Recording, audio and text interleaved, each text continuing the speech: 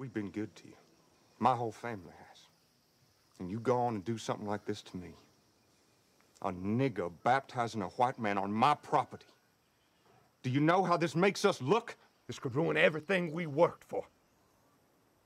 Boy, you'd better say something and quick.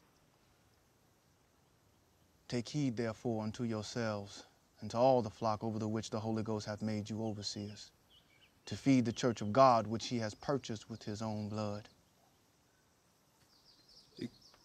Exhort servants to be obedient to their own masters, and to please them well in all things, not answering You again. were bought with a price. Do not become slaves of men. He that shall blaspheme against the Holy Ghost hath never forgiveness, but is in danger. Beware of false prophets who come dressed in sheep's clothing, but inwardly are ravening wolves.